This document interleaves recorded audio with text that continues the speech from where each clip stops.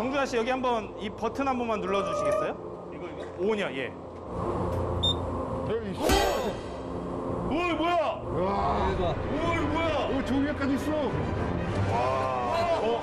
에메랄드 보석 같아. 우와. 우와. 엄청나네. 와, 엄청나네. 엄청나네. Back with the remix. These days, all my songs like Phoenix. My city and state never ever seen this. Jimmy New 질투 음악가랑 난데 제 누굴 보고 있는 거야? 맞아, 지금, 지금 혼자 이걸 막 돌고 있더라고.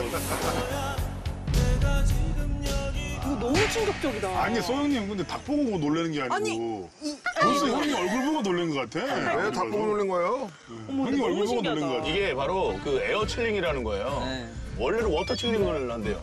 그래서 저희가 water chilling한 거하고 지금 지금 좀 전에 보신 이 air chilling한 거하고 이건 그냥 육질 자체가 다릅니다. 다른 곡이에요. 여기 보시는 공정이 저희가 자랑하는 IFF 공정입니다. IFF.